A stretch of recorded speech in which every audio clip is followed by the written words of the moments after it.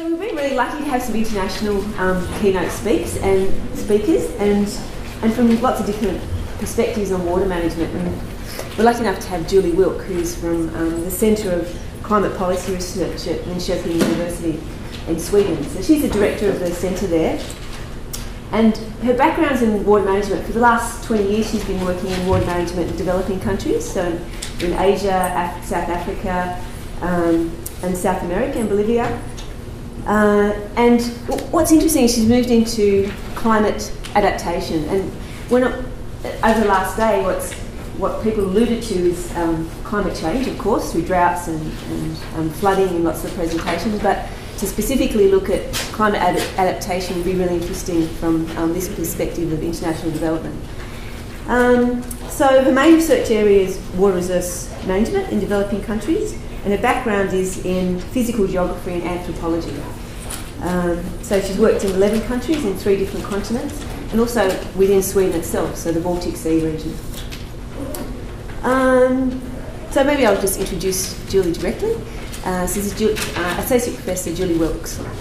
First off, of course, thank you very, very much to the organizers to bring me all this way. So I'm very, very honored to be here and talk about the work that I've been involved in together with colleagues from the center, and Mathias Hjerpe and Anna Jonsson. And we've been working in this with these uh, participatory toolboxes that we call them. We've been working uh, in this for the last six years in a number of projects. So I'm really happy to be able to talk about that today. I'll try not to speak too quickly, especially with my strange accent. Uh, we're calling it a, a, toolbox, and we say that's a collection of tools to guide groups through assessments of vulnerability related to water uh, resources, looking at climate variability and climate change. And so, first off, like, why did we even start with this? Why did we think there was a need for these participatory toolboxes for water related vulnerability assessments? How did we get involved in this?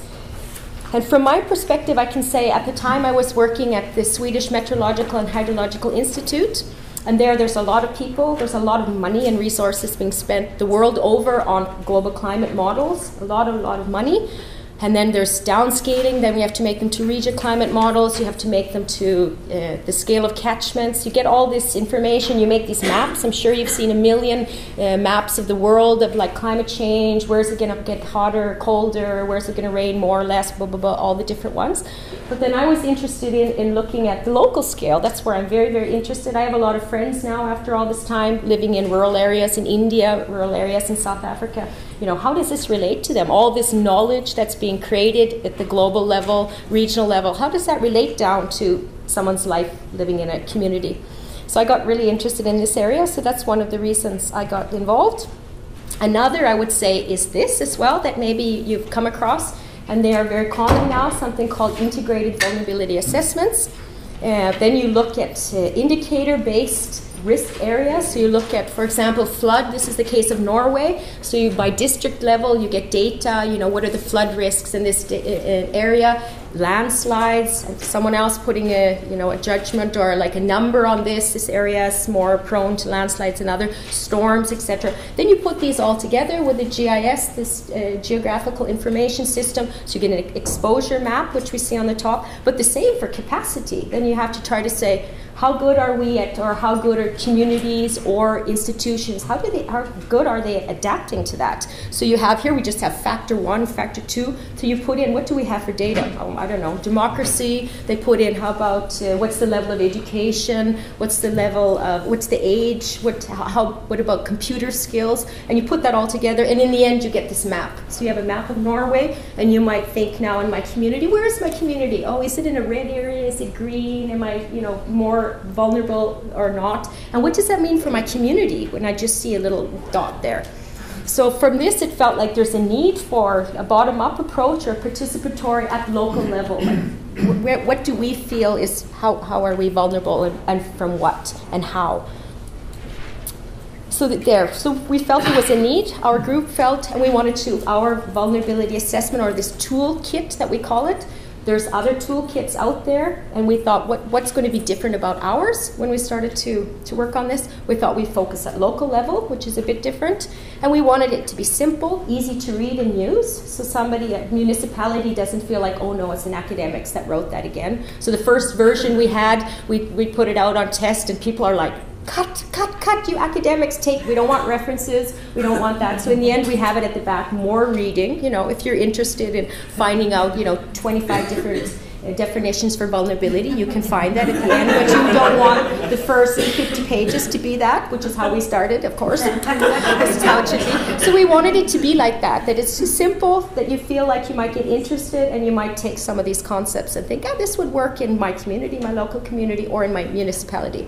So and so we we've written our version in a step by step. So if you really feel lost, you can just start with page one. You know, get colored pens. Okay, go to the store, do this, hang up papers. You know, you start like this, post-it notes, and then you can follow there too, if you feel that, or you can use it in, in another way, which I will talk about. Um, and this is just to briefly that this um, this toolkit is based on three projects that kind of ran parallel, and we were we're a very small group, but sometimes we're so busy, and two of us were involved in one project, three in another, and after a while, it's like, aren't we kind of doing the same stuff? Oh, I think we are. Yeah. So we so we started integrating more and more.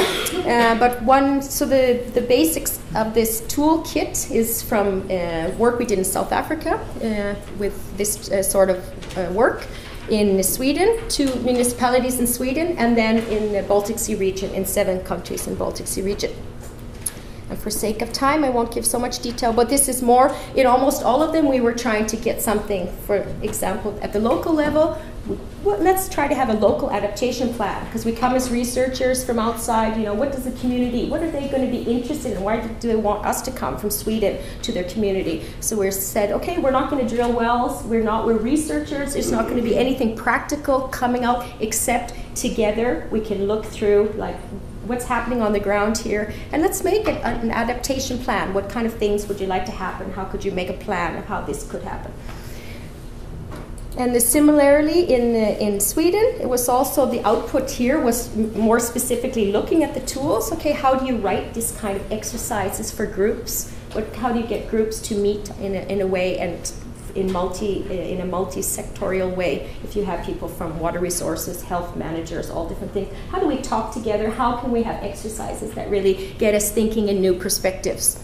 not the old ways that we always do and the third one as well, we were uh, again more focused on the exercises, but then we should we had seven uh, regions. The yellow regions are the target areas we had. We worked with these groups. We we wrote the exercises and then they tried them out. That's when they were telling, no, no, no, this isn't going to work. Okay, fine. Then we, re- we revised them again. And then Russia actually was our last case. They joined the project a bit later. And they were like, we don't know anything about climate change. This is great. And they just followed. It was quite fun test. They just did one. And then they just came with this absolutely fantastic adaptation plan. We're like, goodness, you created that. That was really brilliant.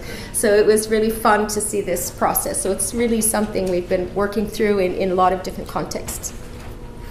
And a little bit background, that like kind of the, the skeleton of the toolkit is based on yeah this uh, IPCC uh, definition of vulnerability, but also the three um, components of it that we look at: its exposure, sensitivity, and adaptive capacity, which is very common when you're looking in the vulnerability assessments that are related to climate change, and that's because this is from uh, one uh, important scientific work that came out 2005, and there was there was a first generation of vulnerability assessments looking at climate, and the biggest change in the one that we work with, they started to add adaptive capacity because you start to think, okay, you're exposed, you're sensitive, but what is it that we have as groups? What what makes us strong? Maybe we're good at collaborating, maybe we're a bit weaker in something else. We have a lot of conflicts, we have barriers for this, but really that was a very important point that we needed to look at when we're talking about vulnerability. So they became the three, I don't have a pointer here, but exposure, sensitivity, and adaptive capacity are the kind of the core. And then we also looked at work that's been done quite a bit in a Norwegian group uh, led by Karen O'Brien, and that's of course, as well, that exposure isn't just climate. You can't come to municipality and say, oh, we only care about climate. You know, people are like, we have a whole bunch of other things going on. What about, you know, global changes and what about, you know, things that are happening in our community? So you need to look at climate related to other things. So you, you, and they have to be integrated together. You don't want only that we only look at this for climate. No, you have a whole bunch of other planning things. So you need to look and start at the level of, you know, what, how do we feel exposed? When people are talking about migration, we're worried that, you know, people are moving out of our area to the cities. That's a, a driver, a big driver of urbanization is a driver, climate things that are happening. So looking at that in a more integrated way.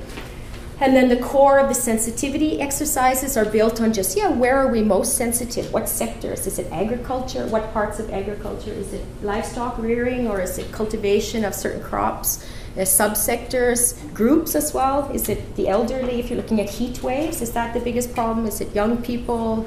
Areas, of course, flooding areas. Wh- which parts? Is it already the socio-economically poor parts of a city? Is that somewhere we have to think more about? And then adaptive capacity, which I've already talked about, and that is exactly you know what's what's really stopping us. What are the biggest things a barrier to being able to be better at adapting to all different types of change, not just climate. And then what helps us? Maybe we think, oh, in our community, you know, we have a really good, I don't know, a couple of people that are very strong leaders and they're good at linking. That's a good thing. So not just looking at the negative, but what do we have going for us? And then together in the end, trying to put this all together, integrate it, and make something. I'm very pragmatic in the end, so I think, okay, you know, some vulnerability assessments, they lead you up to the edge and like, okay, now you know where you're vulnerable thank you for us, and you know, you'll figure that out. And I'm like, no, come on, you know. And some groups as well say, you know, we can't do anything. We, we don't have any money. There's so much conflict but everyone can do something. So I'm like forcing, like, come on, take one. You can just have one step, okay? After this, all we decide is you three will have a next meeting and you will work together on one tiny point. It's still an action plan. You don't have to have, and you, of course, you can't have an action plan that's in the next 50 years. We follow this every day. What was I supposed to do today? Because things change all the time. But how do we go forward? Now we've actually gathered ourselves together. We've done something. So what are we going to do with it? How do we go towards positive change, even if it's just one little tiny step. So that's kind of where we end. Um, the participatory methods we've used theories behind the work we've been doing. We the method very much we built on workshops, and we're gathering the the toolkit is built for gathering a workshop in whatever area. If you decide it's a sector, if you might look for agriculture sector, who are the key actors? Who should be sitting around this table now discussing that? Or is it a municipality? Is it, a, is it an area that you think, okay, we need to have farmer organization uh, people, we need to have extension officers? So it depends what, what you're actually focusing on.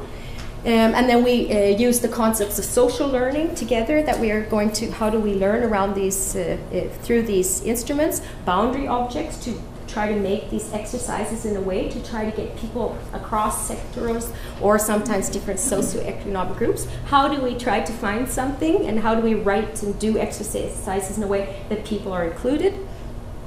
Um, and then co-production of knowledge. So what are we? We're trying to together make something in, in a world where we are aware we have different power structures, we have different things going on. You two are fighting. We already know that before we start. Okay, let's keep an eye on that now.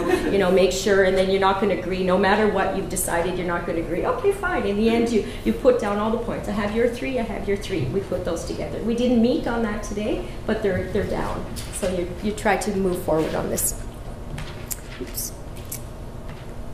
Um, and this is the outcome that the, the Swedish project ended up in this book. And then from the Baltic climate, we made uh, guidelines. So we kind of, in these three parallel projects, we ended up with two outcomes.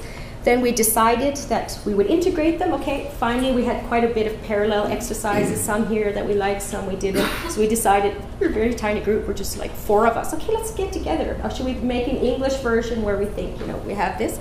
And then we thought, okay, this would be fun to try now. It's besides South Africa, it's mainly has been something that we developed in the, in the north, as in the Baltic Sea region. So we're like, okay, cool, let's try to try it out in some different uh, contexts and a little bit more to urban um, focus. So now we've uh, put uh, the made a new version of this uh, toolbox, and we're um, adapting it and using it in Bolivia and uh, India.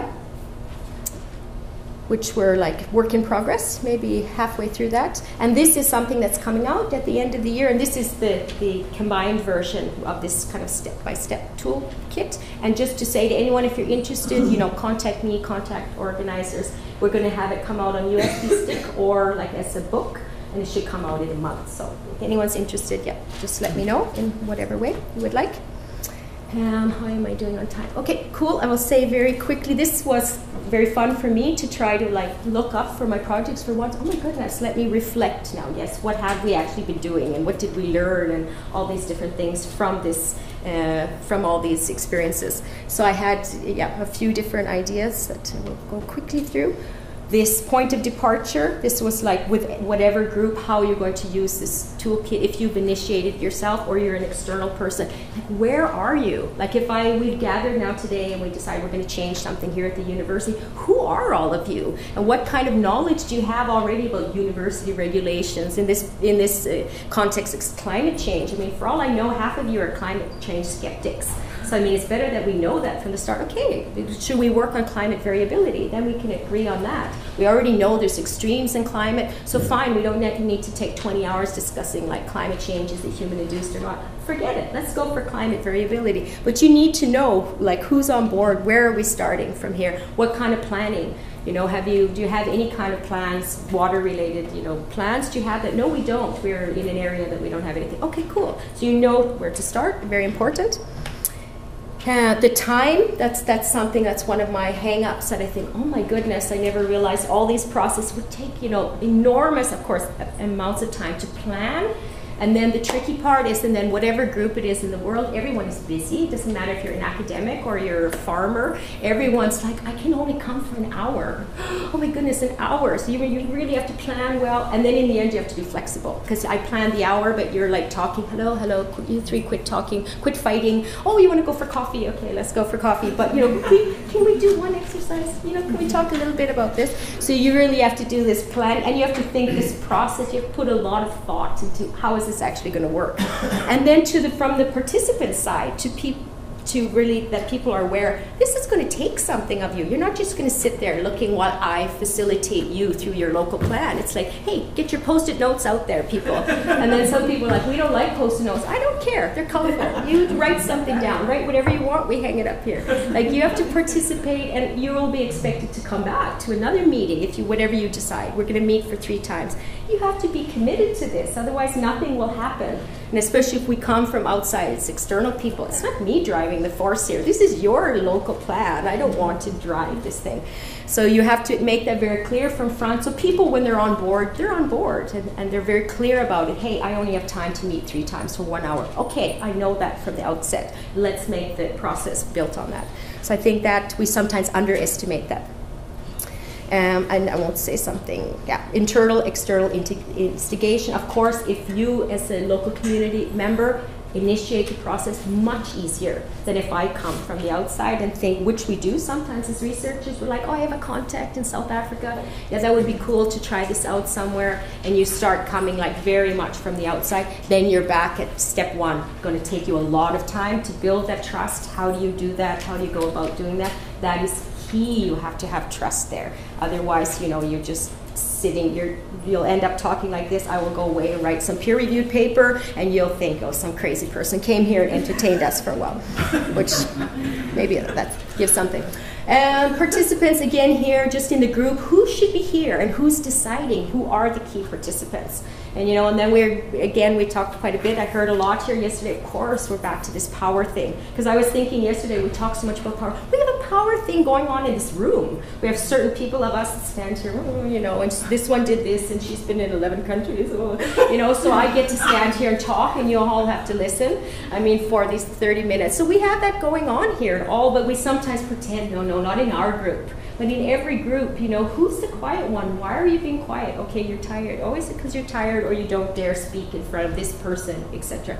So all these things that we try to ignore as well because we don't have much time. We only have an hour, you know, to start picking at this. But without really knowing this, and you can't really get any kind of group our community local plan. So this is like, I think it's facilitator, like in some of the projects we have facilitated, and more and more we've been going away from, hey, why should I do this? I'm an external person. Why should I be facilitating in, like in, in Australia? So it's like you, but you think about these things. They're so important, and I think these things are the messy stuff we don't really like to talk about. So one part of our, um, the new version of our toolkit, it's like the getting started part. These are the things you have, really have to think about. And as well, like participants, where are they from? How will this link back to the organizations they come from, what we do, which is the next slide which is just whatever we decide. Okay, we're a person we made. It. Yeah, but you have to go back to your home organizations. How does that fit? Oh, I was sitting in another group and we made this action plan. So you know that there's, and this is the main thing. Besides individual learning, which of course you can have in whatever group, but if you want something to live a larger life than, than what it could, you know, that, than just this little tiny process of whatever it was, you have to link it back into what you're doing when you go back to Department of Agriculture. You know, where are you in your planning? How will this And hopefully you've talked to your boss about this, you know, or your, your group or whatever. How can you link it back to make it be something bigger? Uh, and very, very quickly, we had a, a master student that looked at uh, the organizational learning related to this project, the Baltic Climate.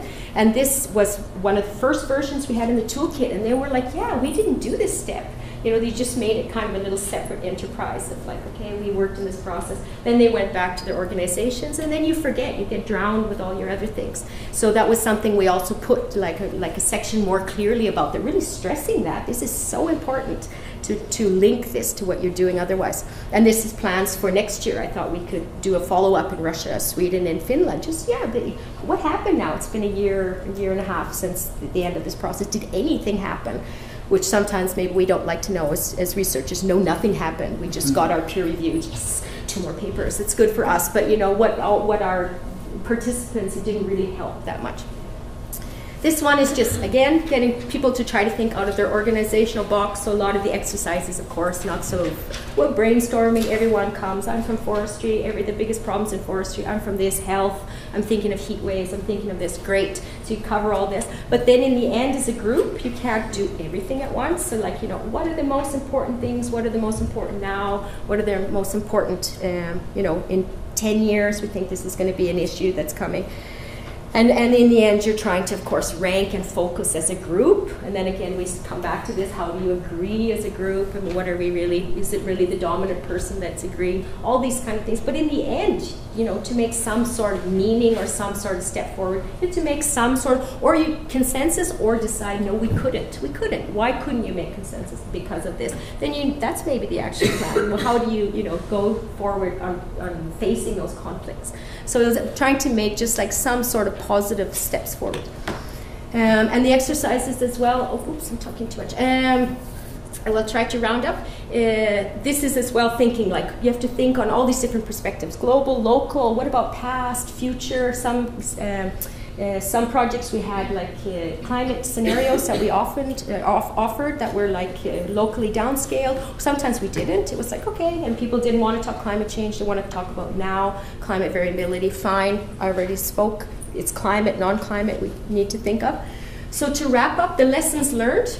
I've already talked so much. Time and commitment, so, so, so important. Start, make sure you start well. Takes so much time on starting. You start poorly and people get ticked off. Oh, she said this and, you know, she didn't take consideration to us then you have 10 years ahead of you. I mean, then you suddenly just put, you, you built your own giant, you know, stone in front of you that you have to crawl over the next 10 years. So really put a lot of thought, even though you're so excited when you start, you go, oh, I'm so excited, I want to go to the community. And, you know, you jump in there like a puppy and, oh, you know, and everyone's, oh. So really, it's so important to start, think a lot, who the right people, who are the right people. Make sure you have the decision makers as well. You want to involve decision makers. Otherwise, you get a lot of people like, we all agree, we should, you know, the university should change. No one here can make that decision, you know, so you try to really get people that can make some change. Make sure you have your marginalized groups there because of course oh they never come to meetings yeah but let's try to get them to come so i mean really really put effort in there finishing again i already said about integrating into your own work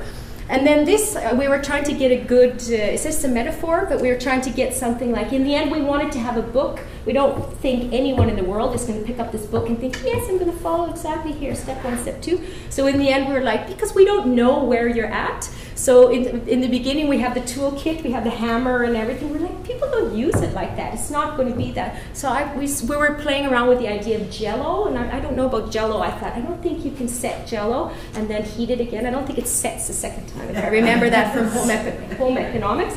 Said, chocolate, that's perfect. So, you know, you get your tools and you might think, I've got a hammer and this is what, I'm, and then you know, no, that doesn't work here. We don't need a hammer, actually, where we are in our community. We need a screwdriver. Okay, cool, let's adapt it. Melt it down, make a screwdriver. I mean, just take the content from these exercises. Yeah. We have two hours, great. So, I, like now we have them in their head. We're like, okay, you need E3 and S1. Let's mix those. And everyone's like, what's that? But I mean, just take the content from this book that suits you. We don't expect, it could never be in the world, you know, this one size fits all. and I will jump over this now because I don't have time, but it was where we're going for here. We thought the, the future is trying, of course. There are so much money. There's it, put in these top-down GIS things. Do they give us anything? Because you can't do this bottom-up everywhere, everywhere. This is the utopia that every community, every municipality would be doing all this. I don't think we're going to get there. So maybe we can do some things very quickly from top down. Exposure works very well. Okay, climate stuff, it's going to get hotter, it's going to rain a bit more. Maybe that's enough to start planning. Or is it so a little bit of a um, how do we do that? Is it possible, etc. And this I won't take. I will just say thank you. so, Thank you, Julie. Um, that was fantastic. And also, I've, I've, had a few conversations around, I think, Ray Ison and a few other people about social learning and that this is just, you know, you capture it in one moment in time. And so it's really interesting to hear about how you're going back and having a look what, what actually happens at the organisational level to create some change in, in water management and um, climate adaptation. So if there's any questions, yes? Yeah, um, that's precisely my question. You, you mentioned that you did go back to Finland and Russia and Sweden a year, a year and a half later. Can you actually say? we haven't, but that's a plan for next year. So far, only in Estonia, and that was a master's uh, uh, thesis. And now, when that happened, I thought, oh yeah, let's add on because we thought maybe we can make that into an article. But it's from the seven countries, it's only one, so it's really interested especially because some were so differently motivated. Sweden was not very motivated, which was funny in the Baltic Sea region because everyone's like, oh, Swedes, you know, they're like always good at everything. They were terrible. They were so unmotivated. Everyone was looking at us like, why are the Swedes so bad? I don't know. The Russians were brilliant. Like they were so like in there from day one, like wanting to do something. So that's why I thought it would be fun. And Finland was in the middle, so it would be plans for, for next year for trying to follow. So, so at the moment you've got no idea whether the no, we only know Estonia no, and they they started out with like we know what we need. We need bicycle paths. That's what they told us the first day, and at the end they decided they had an action plan to make bicycle paths. So they were like in that train. So it would be fun to see some of the other groups. What happened? Yes. Thank you for your talk. It was great, refreshing. I'm Corinne Schuan from the Australian Restoration Centre. Um, I was just wondering whether you thought about the toolkit going onto the web so that people like us can access it, use it, adapt it, and then get back to you in terms of giving you a whole range of case studies as to how it's being used in That would be really good because we have the Baltic uh, climate one. Yeah. I, that's up there, and that's an earlier version of it. That's very interactive. But no, I think it would be a very good idea. We talked about like possibilities what we should do, but I think that would be really good because we're just. But then the, in the end, we're like we can put it up there, but how do people know it's there? because in the Baltic Sea project, it was put up on the web and then they made USB. And I think they sent these USBs to, like, it, they took 11 countries in Baltic Sea region and mailed out these USBs to, I don't know, thousands of municipalities. But we have no, it would be really fun to know, especially if someone just saw it and started using it. But there's a lot of research in Australia, particularly in the primary industry sector, looking at adaptive capacity. Um, there's a large research project that um, I've been working on um, with them in terms of communicating the outcomes. So um, I'd be very happy to okay. you into that because it's always good to know what else is out there. Good, thanks. Yes. I wonder if you know off the top of your head um, if you were comparing your toolbox to, say, a toolbox for uh, participatory methods for water planning in general or for some other, you know, natural resource management planning. Um, because there seem to be a lot of these toolboxes out there. I wonder what is different and special and exciting. The only one, what we looked specifically were the ones that were vulnerability assessments related to climate. And then I think that for ours, at least when we started, we started this work quite a while ago when everyone else, of course, was also creating. So I don't think they're uniquely different. I think what we tried to make was just very simple and very detailed. So if people are unsure and they're, okay, start with this you know, with this kind of more recipe form. But in the other fields, I don't know. And I would probably say with all certainty, it's not unique. I'm happy if people use other types. It's just, it's one that, that is offered that we think, and it, from local, that a community could use. But I can't say more than that. Me didn't. Oh, right, right. Oh, right. Okay. Um, I'm Sylvie Shaw. Thank you. We, um, with Helen Ross, and the scientific team just run something very similar across four regions in southeast Queensland, doing three separate meetings and then one overall to try and get the linkages that you talked about. And we were particularly interested in social and ecological linkages. And yet we have a team of scientists delivering much of the material. And therefore the discourse that came from the participants was basically ecologically related and not scientifically related. And we did um, sticky shower curtains, so like big mind maps on a wall. Okay, yeah. And it worked really, really well, and it dissipated the conflict that you mentioned because we talked about climate variability. But what I found is that when you provide a discourse and you set up a committee and you develop and spend a lot of time much more in the development of the program often than the program itself, it was this awareness of who is in the team and who is doing the speaking. Because then people coming along who might be from the Salvation Army or something aren't going to go, I've got a religious issue over here. Yes. they talked on mainly ecological issues. And that was something that was really interesting to monitor. That's our research. Is that even within the social learning process, it's not just the power and the knowledges, it was the, the, the discourse with which the projects um, started with. Mm, definitely. And so the social ecological lacked a bit of social. Thank you. So maybe one more question, please. Um, just to talk about the Storylines project, which CSIRO are doing, which is taking a climate scientist with a laptop computer and uh, a social scientist together and um, they go out to to groups to do this sort of thing um, you're talking about, so that people can ask specific science type questions of the climate scientists and actually show the models on the laptop mm. computer. They can play around with different sort of scenarios of future climate. Um, and then there's the social scientists to talk about the storylines, the mm. so what about this, mm. and to make a story of the future for their local community. Mm. Um, but so far they've done it in two separate groups. They work with sort of more professional sort of people uh, in one group and work with more community type people in the other group. Mm. And what they found was that the more community type groups were much more um, creative in terms of their stories and much more integrated and, and really much better at the whole thing into the future mm. than the more professional groups who, who sort of kind of hung up much more on kind of technical mm. side of things. Mm. So that would be another. So I've certainly made a note of your project to tell them about. No, that's very good. That sounds similar to what we did in South Africa because we had the professional group, the commercial farmers, and then the small scale farmers, and just -hmm. to see.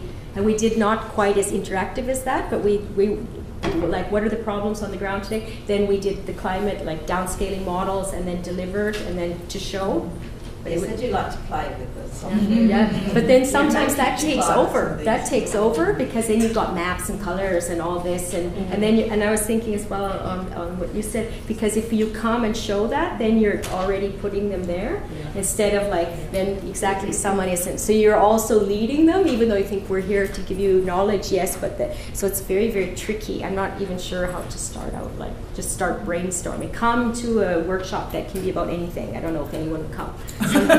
I would come. I think we might wrap it up now. Yeah, wrap it up now. Thank you.